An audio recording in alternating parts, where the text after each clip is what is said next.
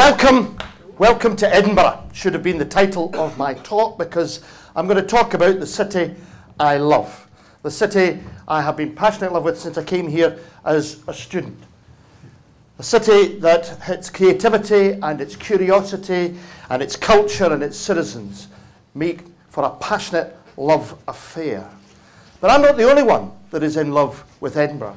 In fact, the City Council, as it does every year, this year did one of its surveys. It talks to the citizens about what's going on and how they feel about the place and all the different services going on. And it asked them how they feel about the city. And 94%, 94% of citizens of Edinburgh said they love living in the city. That's an extraordinary number of citizens to say such positive th things about the city they live in. So I'm not alone. There are many people who love this city. I fell in love with this city when I came here to be a student in about 1843 or whenever it was, way back when. And then it was just, just the people and the places and the things to do. It's a fantastic place to be a student. And I know that many are students here today, and you love being in this city too because the opportunities that it creates for you. Yes, I love this city. I love the fact that I now live 10 minutes from the seaside and 10 minutes from the city centre, 10 minutes from Portobello, 10 minutes from the the city centre. This is an international capital city, and you can be that close to the sea and the centre. I love the fact that we have these incredible festivals, 12 of them. And in the summer, when the population of this city literally doubles, that culture is right in your face. You see some extraordinary sights, including this gorgeous man in his tutu.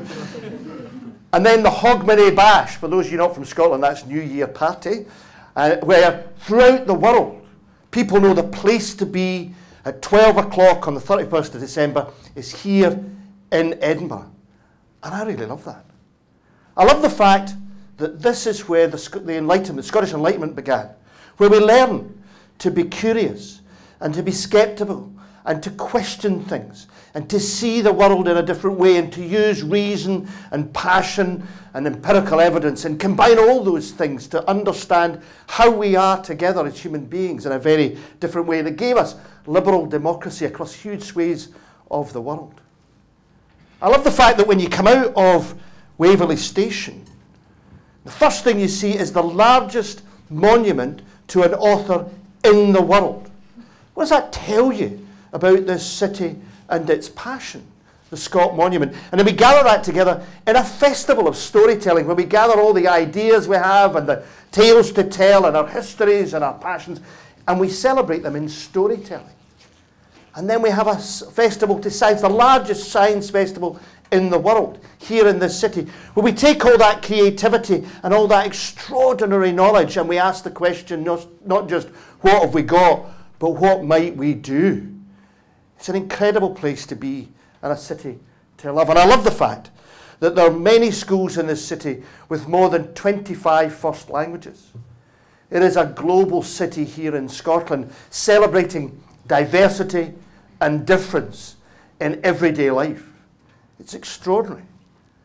And I love the fact that in the Royal Mile there are seven centuries of architecture in fact, even further, if you go under Edinburgh Castle and you find the Bronze Age settlements there, seven centuries of architecture, the story of the city held in its walls, held but still changing and still being rewritten.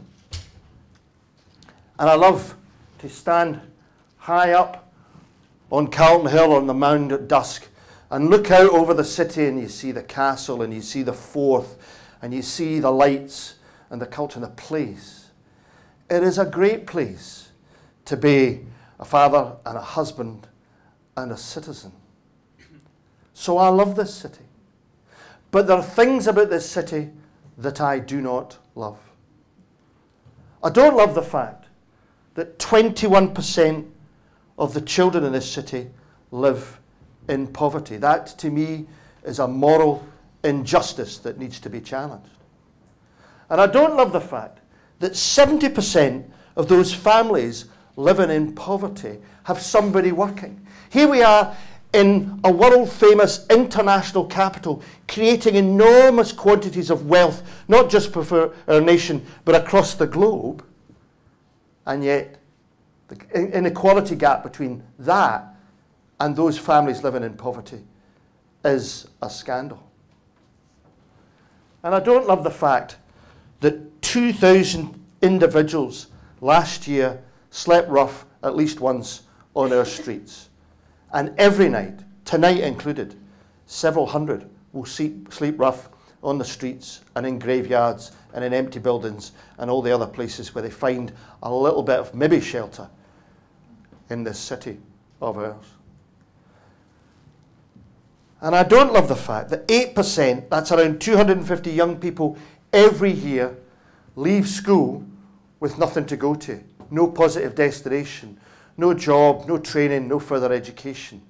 250, that is way, way too many. And I don't love the fact that in amongst those incredible green lungs of the city, you know, 40% of this city is green space with Arthur Seat and Holyrood Park and Princes Street Gardens and Bruntsfield Links and down in Leith Links and all those kinds of places. And yet we still have some of the most polluted streets in our nation. And I don't love the fact that thousands, thousands of, literally thousands of families still live in unstable and un, uh, unsuitable housing in our city. There are many things about this city that I love, but there are many things that I struggle with. And I struggle with the fact that the number of families in the city affected by addiction is growing year on year, feeling more and more excluded from the city that we love. This is a great city, but there's a significant number of people who live in this city who do not feel loved, lovable, or that their love can be received. Now, let me tell you about one of them a young woman called Chloe. Now, Chloe um, was 15 and she was really struggling at school. She came from a real tough reality where things, for a whole number of reasons, were causing her to really struggle to make the best of who she was. So she was refusing school, things were going really badly.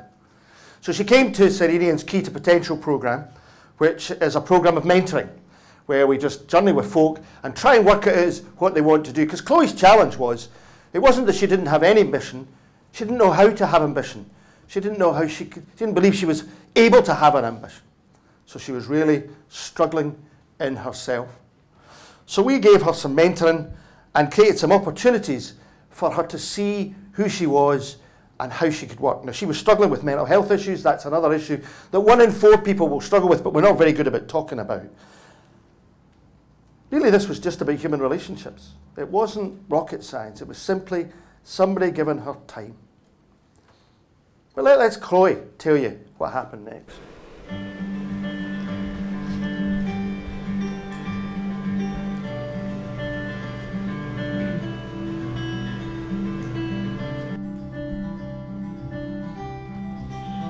Hi, my name is Chloe Williams. I used to work with Mark Pearson from St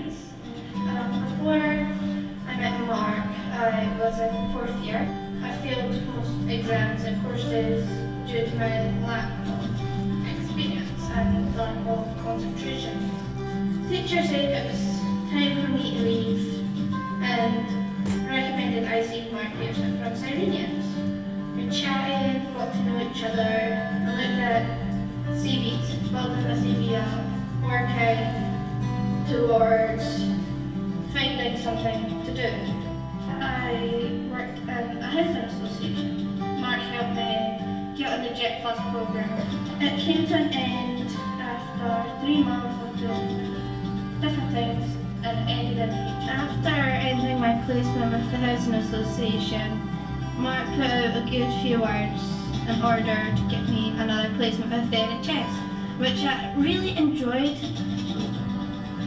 After so long, I realised what I really want to do, um, and it's to be a game developer and create games for the disabled on modern games spectrum.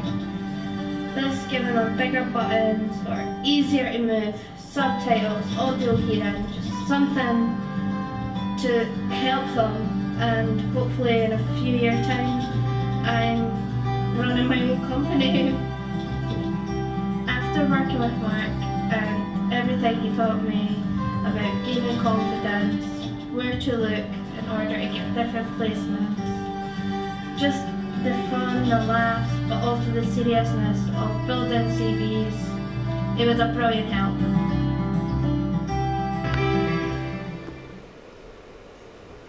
So Chloe's gone on a journey from a tough place to a good place. She made those changes herself. It was her that in that placement, working with people with learning difficulties, she realised that she had something to give and that she could use that talent she does have for designing games for folk she perceived to have things less than she did.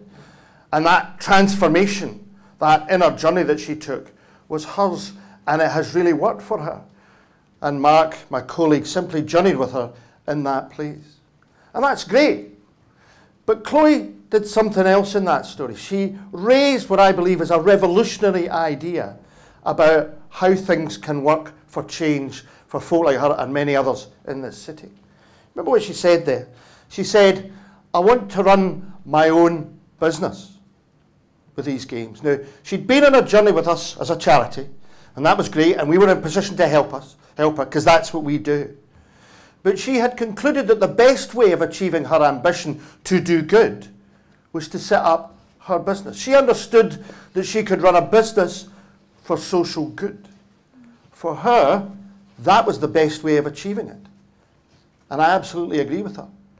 Because it's not only charities that can do good, we just need to be brave enough to see that. The trouble is that this city, like many, many other cities, has a conceptual division set in it. So you've got the private sector, they're the ones that make all the money and just concerned about the bottom line, and that's all that matters to them, allegedly. And the public sector, which is full of bureaucracy, and that's where they spend their taxes, and it's all politics, and it seems to be disconnected somehow from the citizens who put them there. And then there's the, the, the charitable sector, where they do lots of good stuff for folk and maybe animals and all the rest of it, but they don't really live in the real world because I generalize. But these conceptions divide the city instead of finding the way in which the citizens who work in these different areas, and they are simply legal descriptions of the status of those organisations, nothing to do with the actual people who live there. Those citizens are all people like you and I, who part of your family, live in your street, live in your communities, part of the city. If we can find sense of common purpose, rather than dividing ourselves up and assuming that if you work there rather than there, you can never work together. If we could change that, we could harness incredible energy for this city. That's what Chloe saw. And that's what I would like to see happen more and more. And I see it myself, my own life. I work for a charity. My wife works for the City Council, the public sector. My brother works for the Royal Bank of Scotland. We're a family. We share the same values. We have the same sense of purpose. The legal status of our employers is frankly irrelevant, but we let that get in the way far too often in our sense of short search for change. But it doesn't have to be like that. And there are people doing things that are making a difference. So the Grassmarket Project, it works with some of the most excluded in the city, down in the Grassmarket. It's a social enterprise and it runs a, wood, a woodworking workshop. It makes kilts quite extraordinary. It has its own tartan, sells them all over the world, and runs a cafe. And it really provides an opportunity for training and change and hope and help for folk who, who uh, struggle with addictions, with real complex challenging needs. And it does it really well. But the trouble was the cafe, which is one of the biggest sources of income, was really struggling during the winter. They weren't getting the footfall.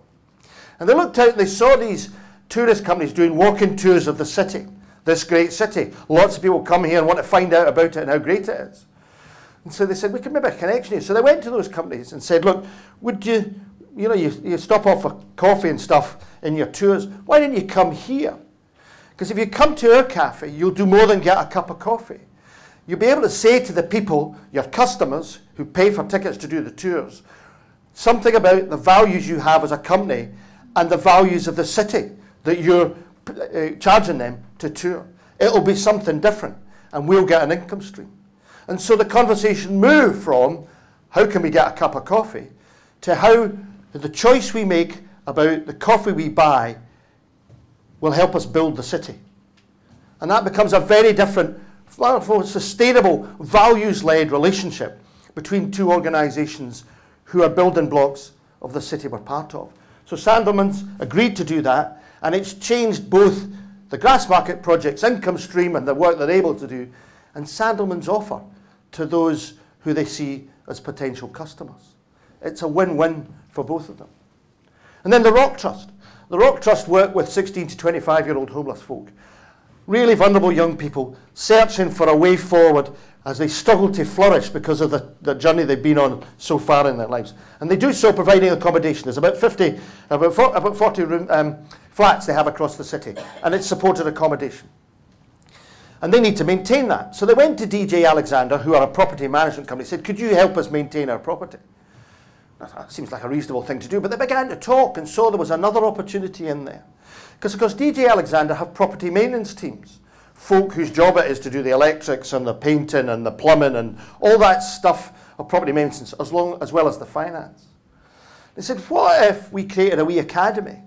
So the folk who live in these flats and the Rock Trust look after could get the opportunity to learn how to do property maintenance.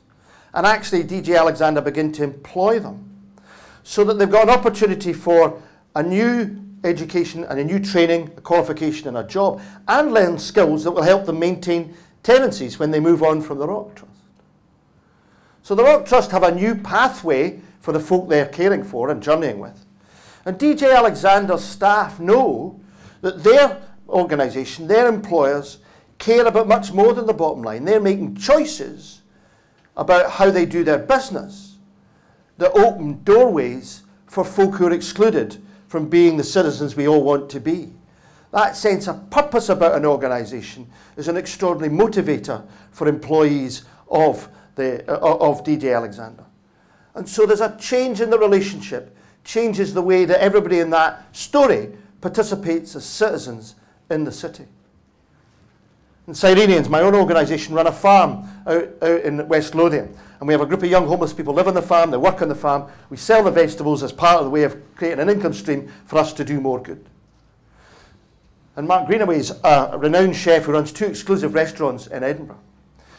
Now, through conversation, we've got to know Mark, and he's now chosen to buy products for his restaurant from our farm. Now, we have to produce a quality product. That's the challenge for us. But that's not a bad thing. Saying to us that quality matters is a good thing for us as an organisation. And he, when he puts a plate in front of one of his customers, is not saying, here's some good food, but here's food. The food on this plate is chosen for the good of the city.